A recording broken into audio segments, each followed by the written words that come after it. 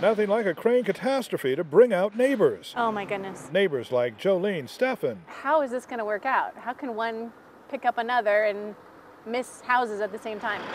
Houses were missed Wednesday morning when the 80 ton crane nearly flipped over while underestimating how heavy a tree slated for removal was. I'm always, you know, surprised and, and you know, a little bit shocked when one goes over and always concerned that, you know, someone could have been hurt. Thankfully, no one was home in the removal zone.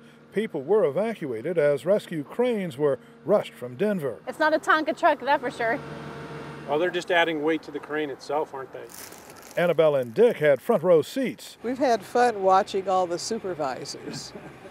We're some of them. Well, most everyone had a suggestion on how to get that crane back upright, but those suggestions all seem to end with, but I don't really know. If I were supervising this job, I'd have four cranes on the uh, on their sides.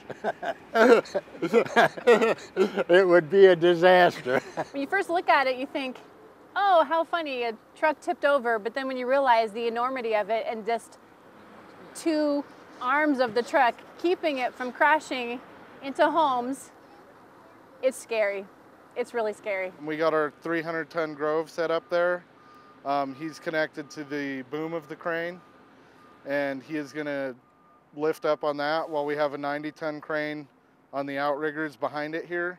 He'll stabilize it as they upright it. After hours and hours of rigging and waiting, go, go, go, go. Slowly, the big rigs lifted the crane inch by inch. That's going to leave a mark. Jolene knows this will be the talk of the neighborhood for months. The next time one of us hires a tree person, we're all going to be thinking twice. In the University Acres neighborhood in Fort Collins, Jon Bowman, Fox 31 Denver.